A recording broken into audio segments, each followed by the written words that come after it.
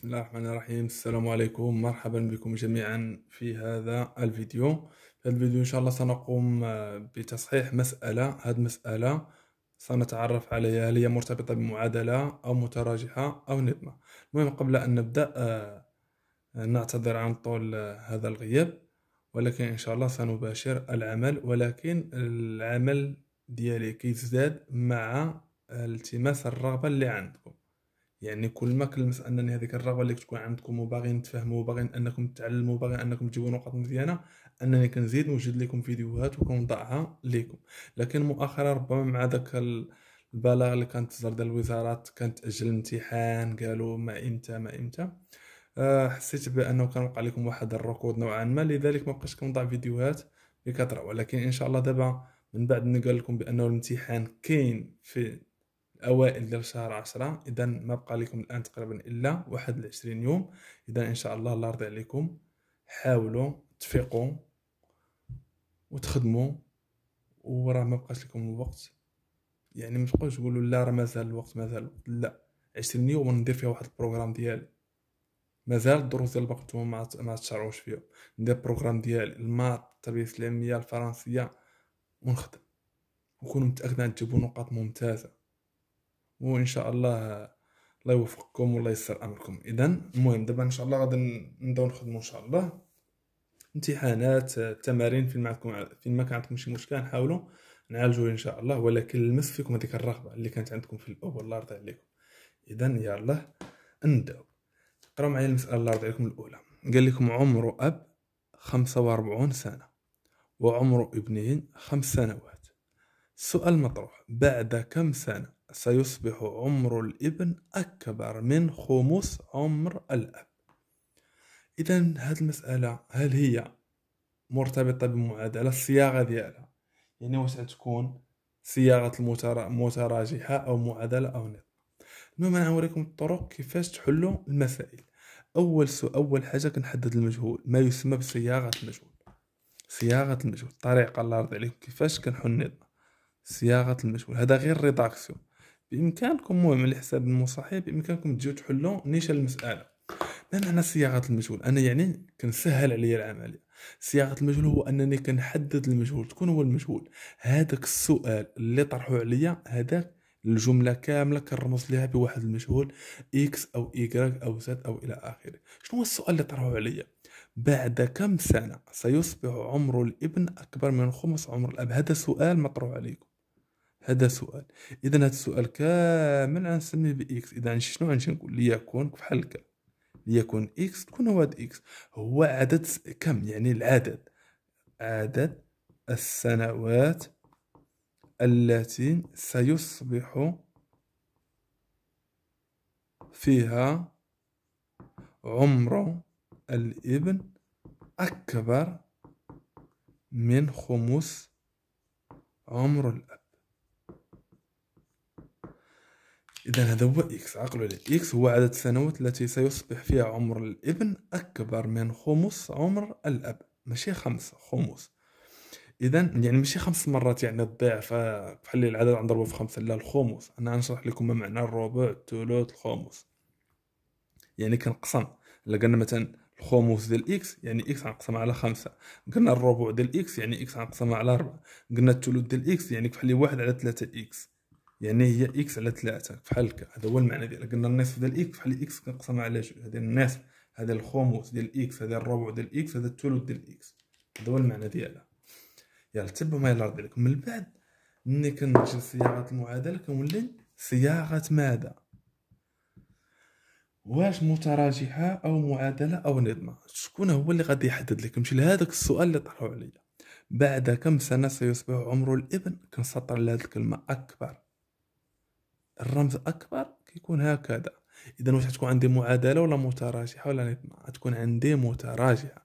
لو كان يساوي غتكون معادلة. إذا صياغة هنا ماشي معادلة متراجحة. صياغة المتراجحة.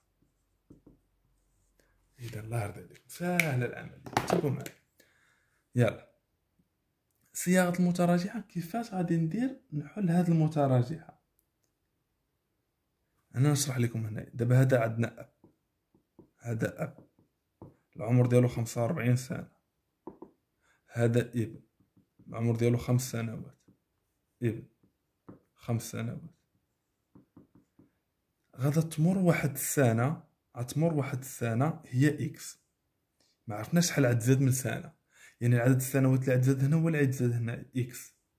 يعني زائد إكس. حتى هنا زائد يعني مثلا الأب ديالنا في الأب في هذه المرحلة في هذه السنة عنده خمسة وربعين غادي يمر واحد العدد السنوات ما عرفناش هذاك عدد السنوات اللي عمر. هاو x عدد السنوات التي سيصبح فيها عمر الابن أكبر من خمس عمر الأب. يعني عيتزاد واحد العدد السنوات سميناه هو x غتولي هنا خمسة وأربعين زائد x يعني في هذه المرحلة.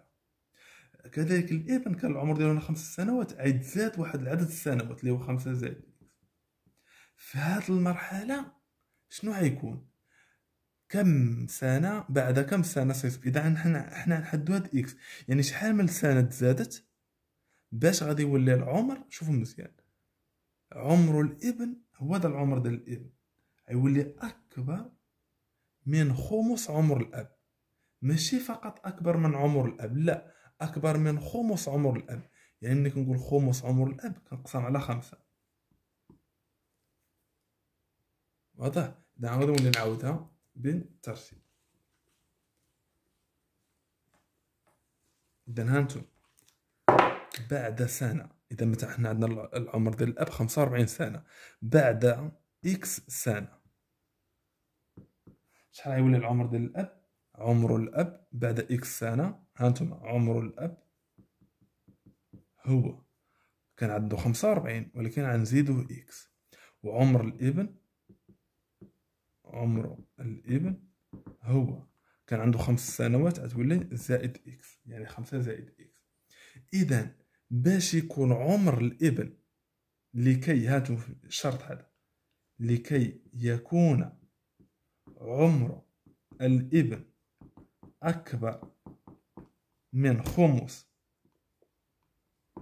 خمس عمر الأب ينبغي أو لا يجب أن يكون أو لا ينبغي أن يكون ينبغي أن يكون هانتم الأرض يشوفوا معايا ها العمر ديال خمسة وأربعين. ها. العمر ديال الابن خمسة زائد إكس. باش يكون العمر ديال الابن أكبر. ها العمر ديال الابن خمسة زائد إكس. هذا هو العمر ديال الابن والعمر ديال الأب هو خمسة وربعين زائد إكس. باش يكون العمر ديال الإبن أكبر من خمس عمر الأب. الخمس يعني قلنا هذا كنقسمو على خمسة. بحال كنضربو في واحد على خمسة. اذا دابا هذه هي المتراجحة اللي غادي نحل وغنقلب على إكس. هذاك الإكس اللي غنلقاو هو عدد السنوات التي سيصبح فيها عمر الإبن أكبر من خمس عمر الأب. اذا دابا هذه متراجحة غادي ندير الحل ديالها. كتعرفوا تحلوا متراجحة عاد الله يرضي عليكم. شنو غندير؟ خمسة زائد إكس غتبقى كما هي. أكبر قطعا. هنا ندير النشر واحد على خمسة. ضارب خمسة وربعين زائد هنا واحد على خمسة ضارب إكس. اذا غادي نمحي هادشي هذا وصافي غنمحي دابا وغنزيد نكمل المتراجحة ديالي.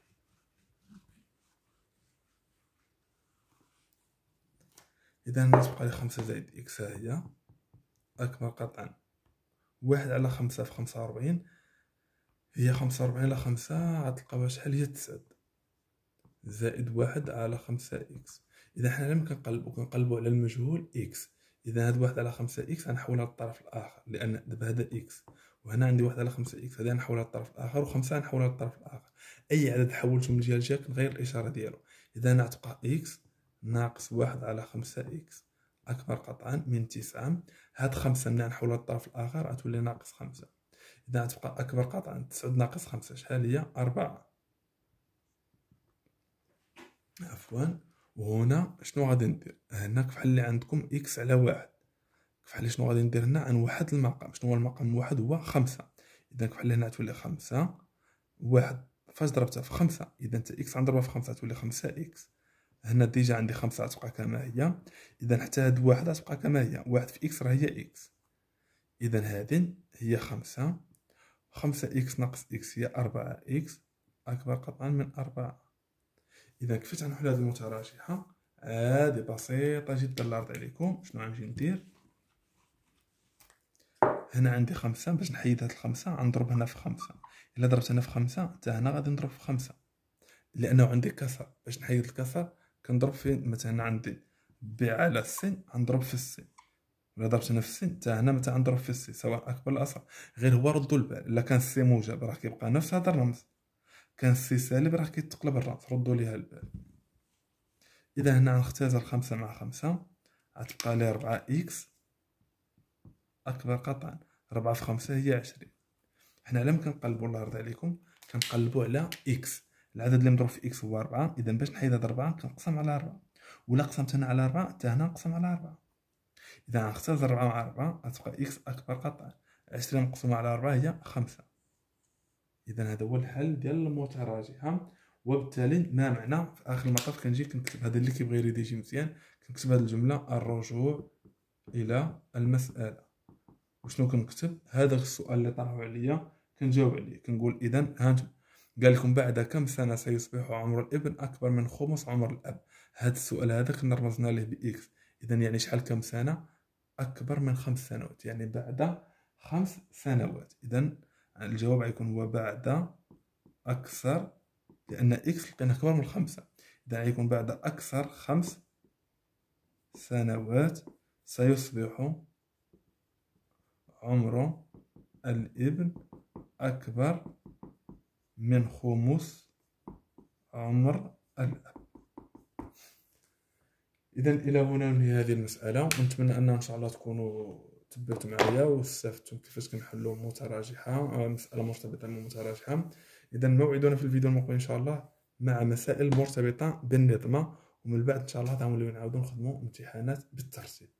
لأن هنا كانوا بعض التلاميذ كان مازال عندهم مشكل في المسائل المرتبطة بمعادلات المتراشحات النظمات أنا حاولت نولي نعاودهم لكم. قالوا لي درت لكم ديال المعادلات دابا هذه ديال المتراجحه غنزيد لكم واحد المساله ديال النظمه غنبقاو نخدموا امتحانات. وغالبا غالبا غندير لكم live آه، ممكن آه، يوم الأحد إن شاء الله ممكن ندير لكم live يوم الأحد. اذا الله يرضي عليكم. خدموا ما تيأسوش. ولا تنسونا من صالح الدعاء والتعاليق الجميلة. ودمتم في رعاية الله والسلام عليكم.